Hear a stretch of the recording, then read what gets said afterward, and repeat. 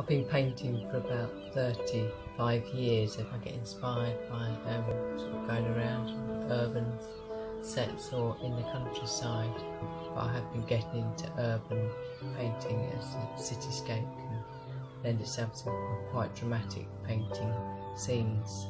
I love Brighton. Who doesn't love Brighton? Just great being a city by the sea, nature as well on the South Downs, which is not far, so we've got a bit of everything. I think it's quite a luxury living in Brighton. Martlets is a, a hospice that supports and cares for terminally ill people, so it's a great charity to support. I think it's important to be more like a snail because it's great to slow down and just take in the, the wonders of life and the countryside and than rushing around like maniacs.